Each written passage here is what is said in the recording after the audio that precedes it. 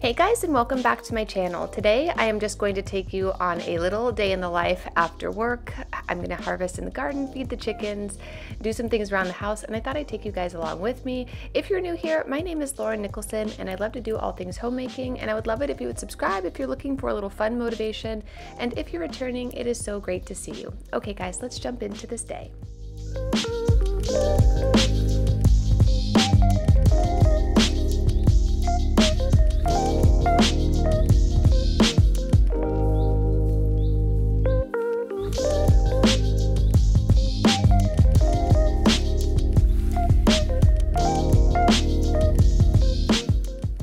Today's sponsor has been an absolute game changer for my skin. If you guys aren't familiar with Typology, you are going to love this. So, they are a French skincare brand that is made in Paris and has the most incredible technology of how they actually create your custom skincare products. So, to get started, you actually take a free skin diagnostic test, which gives you personalized skincare recommendations that are particular for your skin. So, not like, you know, oily, dry combination skin skin, which is like really widely used in the skincare industry. The skin diagnostic test actually places you into one of 24 different typologies based on your skin needs, environmental factors, things like that. What I loved about it is after I took my test, which only took about four minutes, it was validated by a dermatologist and I was actually prescribed an AM and PM routine that specifically supports my skin typology. So I have extremely chronic dry skin and I'm also aging I'm going to be 40 next year. So for me, I wanted to have a routine in the AM PM that not only supports my aging, supports my dry skin, but also will support the elements because I am outside all the time. All of their products are vegan and created in France, and they're naturally sourced from healthy, effective, and environmentally friendly partners. I highly recommend checking this out. My favorite, I love a cleansing oil. I don't know if you guys use cleansing oils, but I absolutely love cleansing oils. I feel like it really gets deep into my skin. I also love their botanical blend with a peony uh, night serum. It's so good. It makes my skin feel so dewy and it's not oily in the sense that your skin feels oily. It just feels like it's glowing. I have been using this for a week now, and I have to tell you, my skin feels different. Even people at work and friends say, Your skin is always glowing. What are you doing differently? And I'm telling you, this has been a game changer. So, if you want to join me and have nice, dewy, glowing skin, today they are offering with a minimum purchase of $40, you get a free serum for wrinkles and blemishes, which is my favorite because that product not only comes with retinol in it, but it also comes with an antibacterial um, property in it, which is really important for your skin. A lot of times breakouts happen because of bacteria, so this is an awesome product to put on every single night and wake up with refreshed, beautiful skin. Thank you again to Typology for sponsoring today's video and creating products that make me feel beautiful.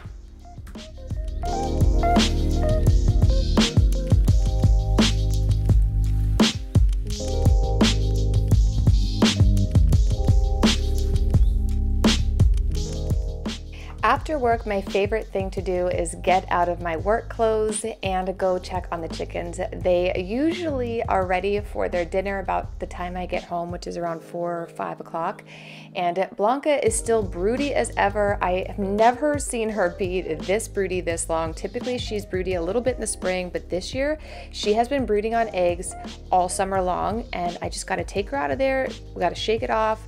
If you guys aren't familiar with what brooding is, it's when a chicken sits on an egg thinking it's going to hatch. It's actually a biological thing that happens. She doesn't have control over it. It's just like what her body tells her to do.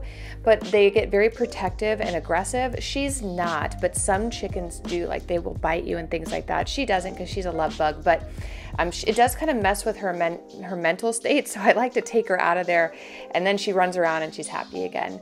But after that, I like to pop into the garden. I feel like the first couple weeks back to work, I really dropped the ball in the garden. So now my big thing is to come in here, remove all the tomatoes, so I don't see any red tomatoes in here and the zucchinis, which have been growing like crazy. Pretty much the only things that I have been harvesting out of this garden this year have been um, my padron peppers, the poblanos, which are both my favorites. Uh, tomatoes are finally coming in, but again, still have a lot of green on there. And then a whole bunch of zucchinis. Next year, I'm gonna do a big different um, variation of this garden. And I think I'm gonna move all the tomatoes to the other side in the new bed that I'm gonna put in. But for now, for my first time ever having a garden, I thought this went really well. The one thing I realized because I haven't been out here is I had a ton of Roma tomatoes that came in so I thought it'd be fun to show you guys a 30 minute homemade sauce. It's very simple to make. Um, I'm gonna show you in the kitchen after this, but it was like one of those days I thought, you know, I'm just gonna do a farm to table dinner and I can't wait to show you guys how it turns out. Know in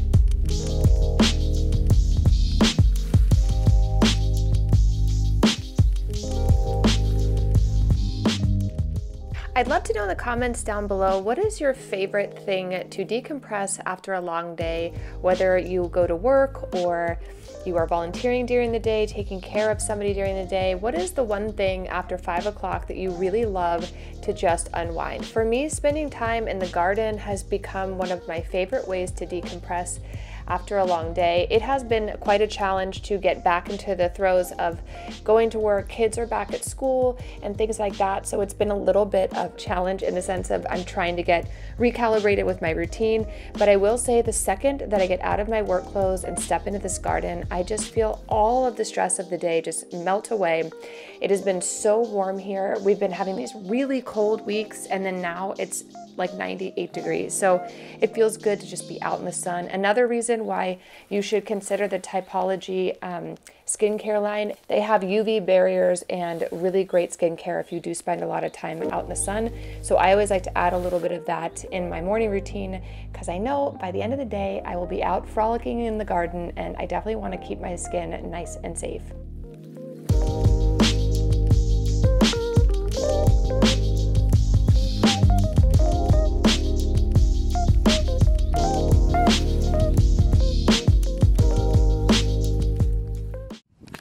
Okay, I was going to water, but look who's dirt bathing. Our angry little Blanca. You having a dirt bath? Ooh, so happy in there. Her face is all dark. Hi, Salt. So I've got everything harvested out of this garden. I am not going to water because she's happy. Things all over the place. Um, I'm going to pull some of these peppers out. Um, these are insanely spicy.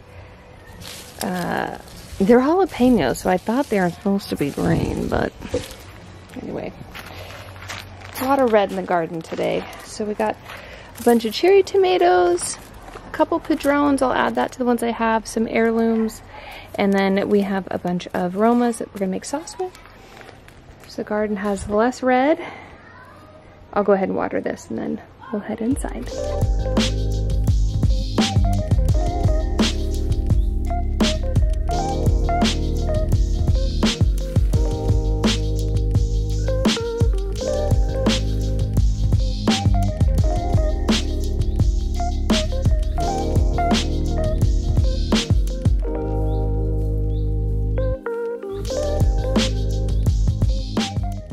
Before we get started on the sauce, I wanted to get everything nice and cleaned. I usually will come in here, wash my hands after being out the garden and in the chicken coop, and then I will clean all of the vegetables that I harvested from there. This is usually around the time I start to think about what I'm gonna make for dinner. I haven't been doing a whole lot of meal planning because it's been summertime and we've just been more go with the flow, especially I've come home a couple days so tired from work that we've just done DoorDash. So I need to get more formal about our um, meal planning, especially with the kids going back to school. So we've got a couple things going on. The kids go back to school. We actually have a trip coming up. Um, so I'm going to be out of town. And then I figured right when I get back towards the end of August, that's when I'm going to get really intentional about my routine. Because even if I start it now, it's going to change for an entire week and then we'll come back to it. So really just what I've been trying to do at the end of the day is go in the garden, harvest what we have, and then make either a nice primavera pasta or roast some chicken with some vegetables from the garden. We have eaten almost everything out of our garden. It has not been so robust that like we can't, we can't keep up with it, but when we do, we just give it to our neighbors. So with all these tomatoes, it looks a little overwhelming, but we're gonna make a delicious uh, homemade sauce. It only takes about 30 minutes to make. The first thing you wanna do is turn on your oven to 375. I'm just gonna take our clean Roma tomatoes. I'm gonna add a little bit of olive oil to it. I really like to coat these, that way they don't burn. And then I'm gonna be adding, I like to use the 21 Salute from Trader Joe's, but any herbes de Provence or anything like that, a nice Italian seasoning will go well with these. I like that it kind of just brings in the flavor when it's roasting, and then we're gonna add it again to the sauce. Once you have all of that prepared, we're gonna add it to the oven for about 20 minutes but definitely watch to make sure they don't start burning. All we wanna do is cook down the tomatoes so that we can just pull the skins right off and then we are going to put them in a blender.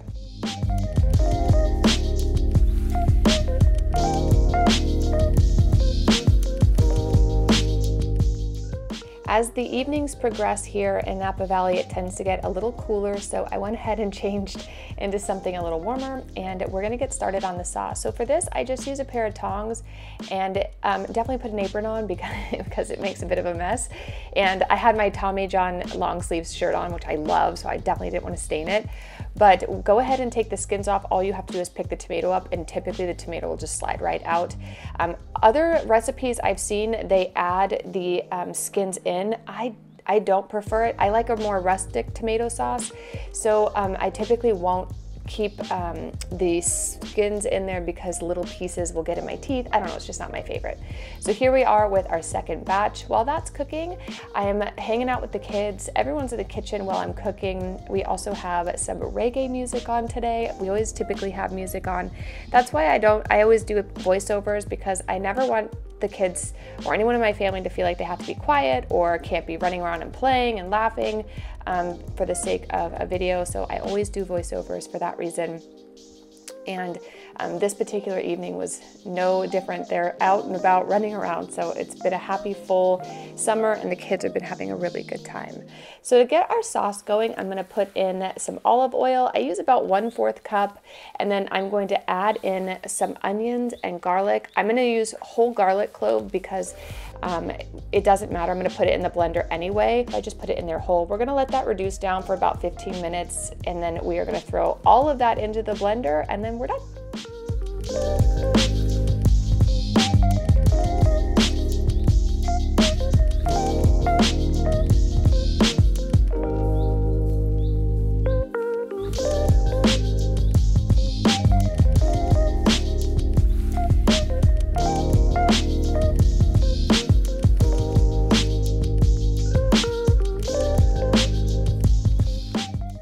if you guys can tell, but underneath these tomatoes is about one cup of some tomato uh, juice. I actually wait till the very end. I'll remove the skins and pour that into a bowl. It is basically tomato juice with that seasoning we had and some olive oil, and it's so good. I add it back into our pasta, which you'll see at the end. Instead of using a little pasta water in my uh, pasta sauce, I'm just gonna be adding that back in, and it's super yummy.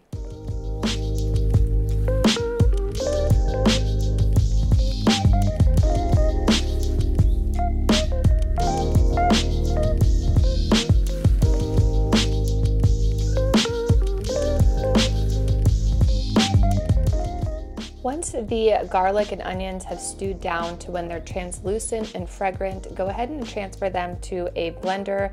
Make sure your blender is um, heat proof, that way it doesn't break. I like to use the Vitamix, it's a great solution for that. You could also use a food processor. So we're gonna add the tomatoes and I have to do this in two batches, but once you get it pretty full, we're gonna just blend this up a little bit. If you want it to be very runny, go ahead and blend it till it's pure or rustic like I do. I just give it like maybe maybe 30 seconds on the blender, and then I'm gonna add it back into the pot.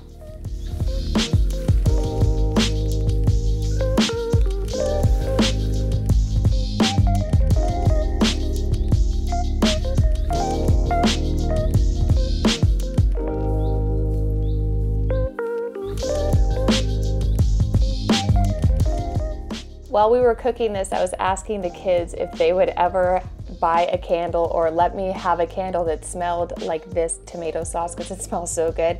I don't know about you, but I love the smell of garlic and onion stewing on a pot. Like it's, it just smells like home.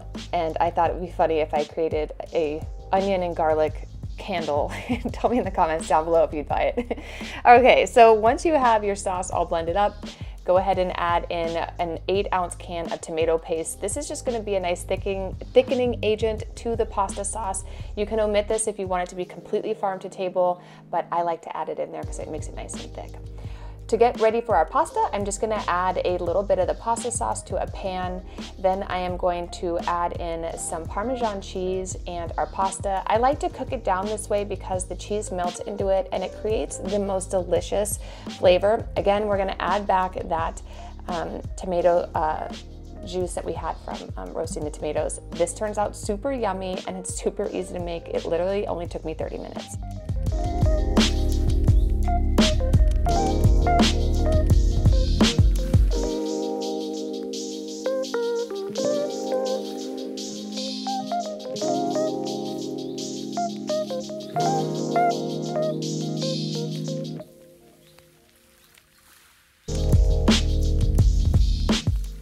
Once all the Parmesan cheese has melted, I like to garnish this with a little bit of fresh parm, some red pepper flakes, and some basil. This is really easy to make. If you have a garden filled with tomatoes, uh, I would highly recommend using Roma tomatoes. It's great for making sauce. Heirlooms will break down and don't really have the robust flavor.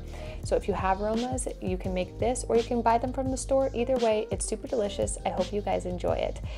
Don't forget to subscribe if you're new, and I'll see you in the next video real soon. Bye.